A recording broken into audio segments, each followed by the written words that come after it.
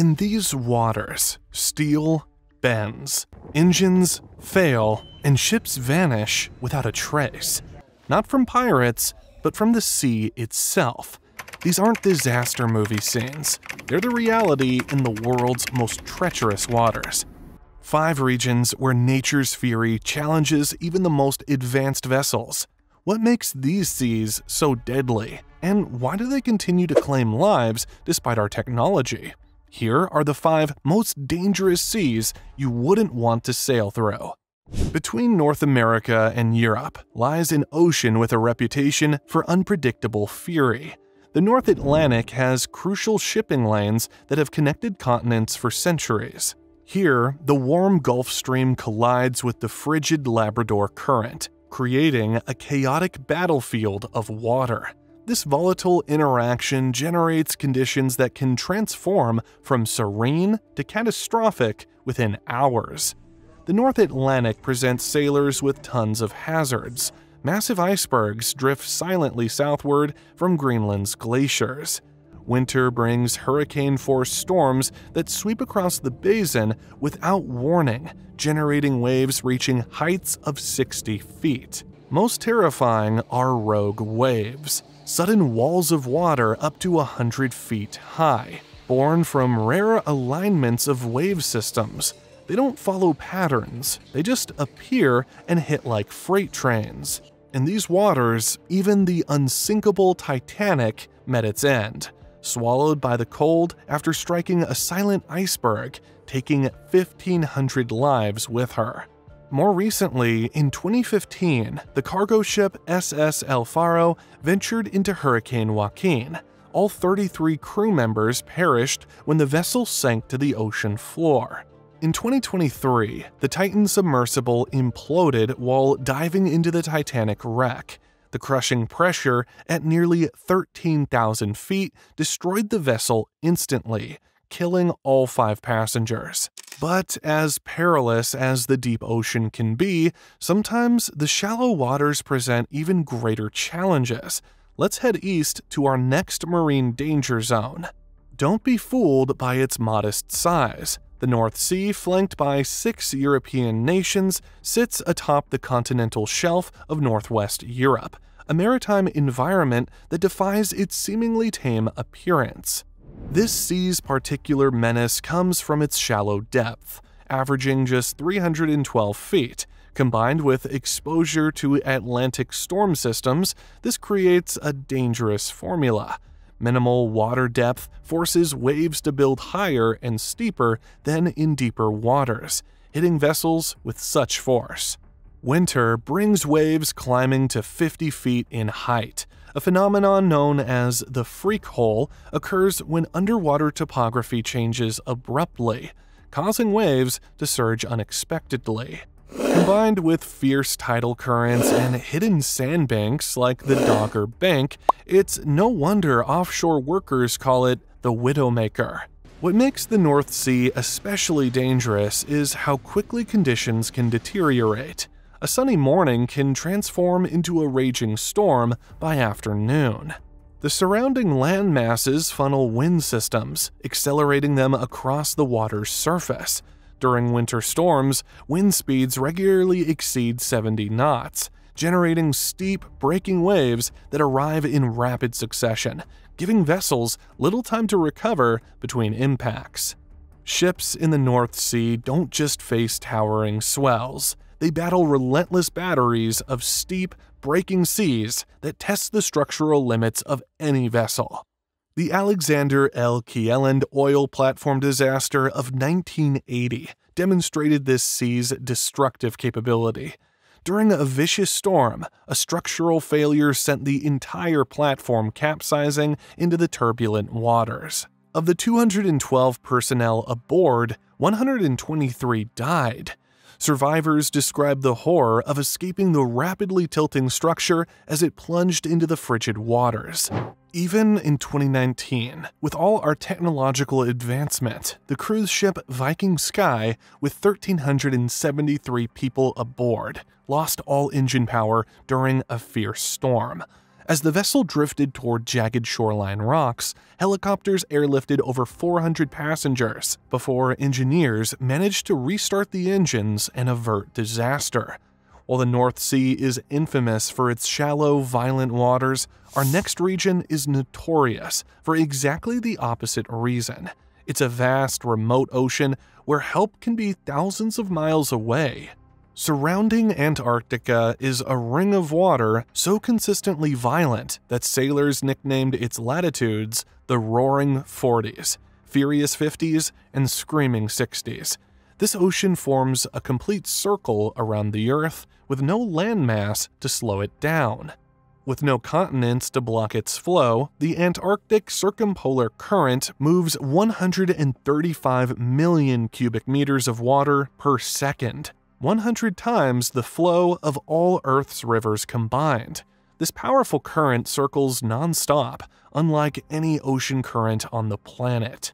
The uninterrupted stretch allows winds to build enormous waves, Storms regularly produce 50 foot swells, with satellites measuring monsters exceeding 80 feet. In 2018, researchers recorded a 78 foot wave, the largest ever measured in the southern hemisphere.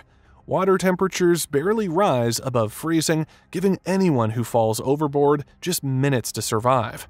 Add in floating icebergs and sea ice, and you're facing one of Earth's most hostile environments.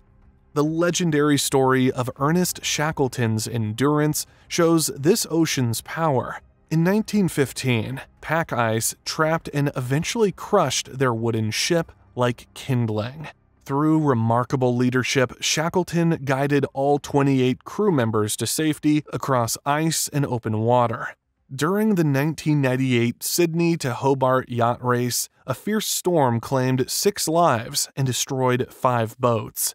Winds exceeding 90 miles per hour created towering waves, turning the race into a fight for survival.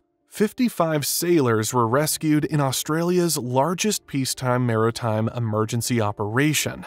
But as we continue our journey southward, we encounter a narrow passage where all these dangers become concentrated in a bottleneck between continents.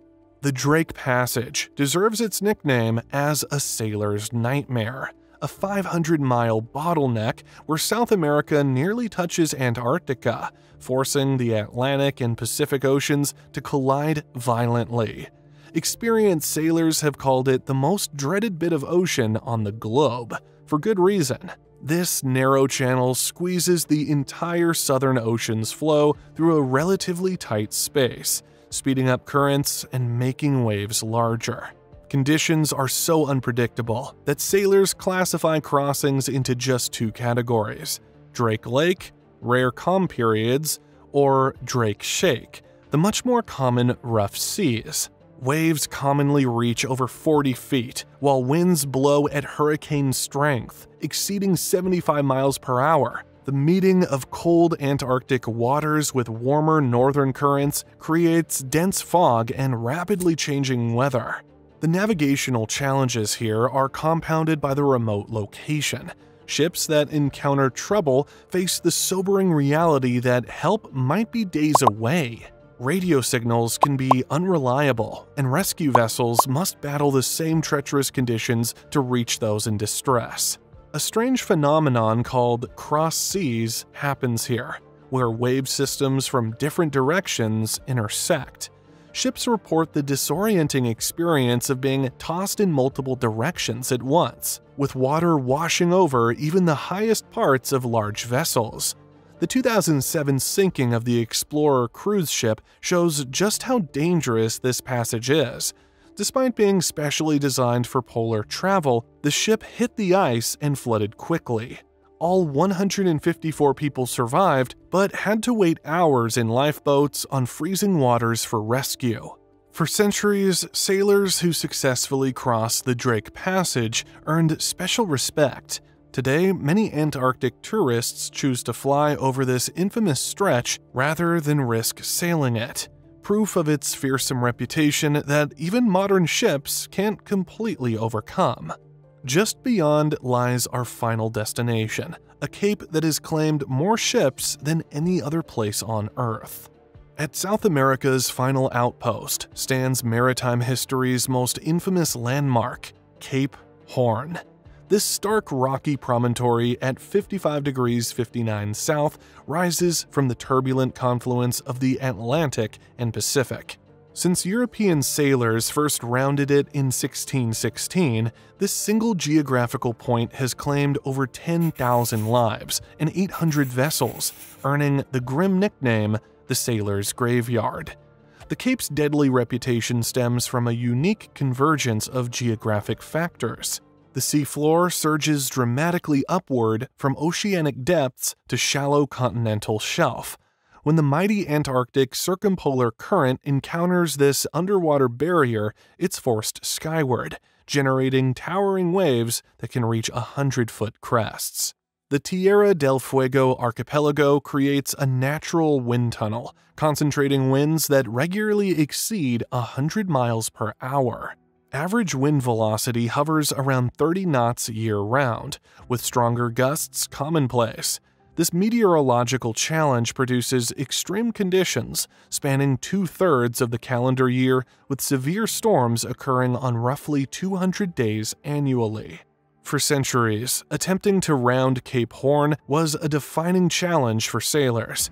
In the age of sail, ships would sometimes spend weeks battling the relentless conditions, tacking back and forth against contrary winds and currents while fighting for every nautical mile.